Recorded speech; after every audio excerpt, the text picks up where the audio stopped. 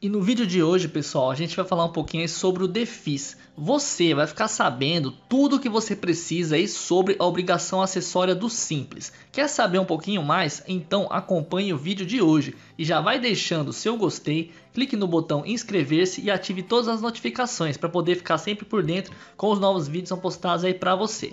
Bom, se você é optante ou é um profissional contábil que presta serviços focados no Simples Nacional, então é hora de você saber mais sobre o DEFIS. Seu devido entendimento pode garantir às empresas maior adequação ao cumprimento de obrigações. Isso se faz especialmente importante aí para os profissionais contábeis que precisam estar atentos às diferentes exigências legais que envolvem companhias enquadradas nesse regime. Sendo assim, pessoal, vamos direto ao ponto aí e acompanhar o vídeo de hoje. O que é o DEFIS? DEFIS é a abreviação de Declaração de Informações Socioeconômicas e Fiscais. Na prática, sua função é enviar à Receita Federal órgão fiscal responsável por reunir os dados econômicos e fiscais das empresas enquadradas no Simples Nacional, todas as informações necessárias. É bom lembrar que o Simples Nacional, como o próprio nome sugere, foi feito para simplificar a vida do pequeno empreendedor, dando a ele condições para atuar sem tanta burocracia em seu empreendimento. Isso significa o quê? Significa que, uma vez enquadrado no regime, o optante pelo Simples Nacional não precisa fazer a declaração de imposto de renda, mas isso não significa que ele não precise fazer os controles adequados de sua atividade empresarial. É nesse sentido que surge o DEFIS, uma obrigatoriedade do contribuinte que na prática funciona como uma versão simplificada da declaração do imposto de renda, informações que devem ser apresentadas. Bom, pessoal, uma vez entendido o que é o DEFIS, é necessário saber quais informações são exigidas. Elas são devidas pelos empreendedores e se refere aos ganhos de capital e ao número de funcionários que a empresa possui, tanto no início quanto no final do período compreendido pela declaração. Vale lembrar, pessoal, vale dizer que precisam prestar contas à microempresa ou empresa de pequeno porte que mantém escrituração contábil e que tenha evidenciado lucro acima do limite apontado no parágrafo 1 do artigo 131 da resolução C GSN número 94 de 29 de 11 de 2011.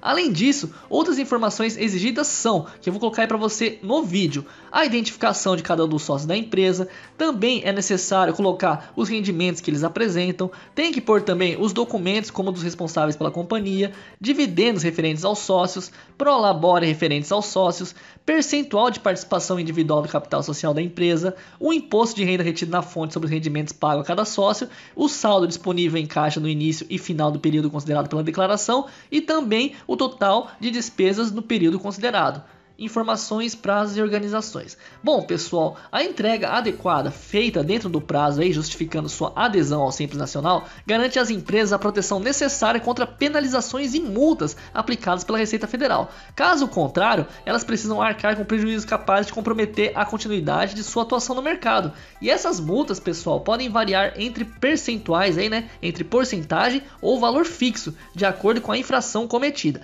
E isso pode ser em função de atraso na entrega, Pode ser também uma multa aí por causa de ausência ou erro nas informações e daí por diante. Nesse caso, cabe à contabilidade fazer com que a situação tributária dos clientes esteja em dia com a lei, evitando assim gastos desnecessários, né? E isso exige a devida organização, que acontece quando se tem atenção às datas do ano calendário e ao ano de exercício fiscal. Vale dizer também que os fatos que geram a declaração dessas informações são os referentes ao ano calendário anterior ao do exercício fiscal, no qual vão ser entregues as informações Sendo assim, pessoal, a entrega é realizada no ano calendário subsequente à geração dos fatos. Tá, Léo, e o que, que, a gente faz quanto à obrigatoriedade? Bom, desde 2012, presta atenção, desde 2012, o DEFIS precisa ser entregue à Receita Federal por meio do site do Simples Nacional, até o limite de último dia do mês de março do ano calendário em questão. Essa entrega, pessoal, deve ser no período posterior ao do acontecimento dos fatos geradores das obrigações previstas no regime do Simples. Já no caso das microempresas ou empresas de pequeno porte, em caso, por exemplo, de extinção, incorporação, fusão ou cisão, de maneira parcial ou total, a DEFIS precisará ser entregue até o fim de junho se o evento acontecer nos quatro primeiros meses do ano calendário.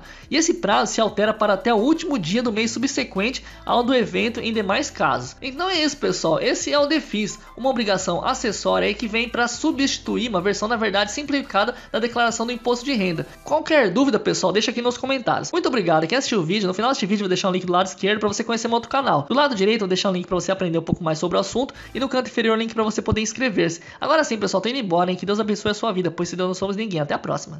Você curte carros? Quer saber mais detalhes e curiosidades sobre vários modelos? Quer uma opinião imparcial e sincera? Então vem com a gente. Nós somos engenheiros que não entendem nada de jornalismo e que somos apaixonados por carros.